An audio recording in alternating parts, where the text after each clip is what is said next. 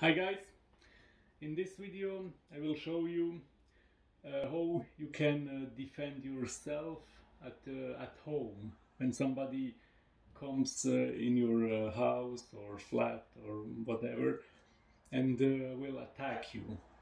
Okay, That's, this can come. So you, don't, you never know.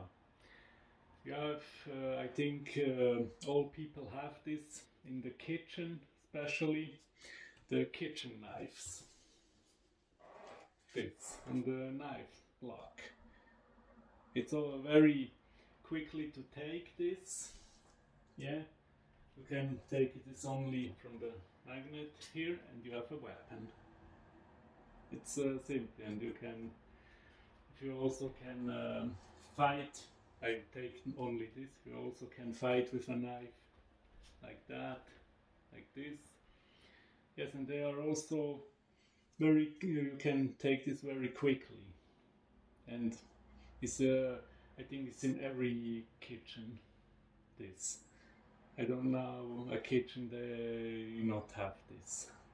Yeah, it's very simple when you have an attacker and also a lot, the most people when they say see a knife, they become fear and go away and but when you have an attacker they not have fear from the knife then you must be ready. Use this to to stab or slash him with the knife. If the attacker see that you that you have a threat to use this then you have a very big problem. Then he can grab your hand or something and use you the knife and use against you it's not a good idea. Only use a knife everywhere. When, when you are outside and when you have a knife, then you must be ready to use this. Okay, to to slice, cut, cut or stab him.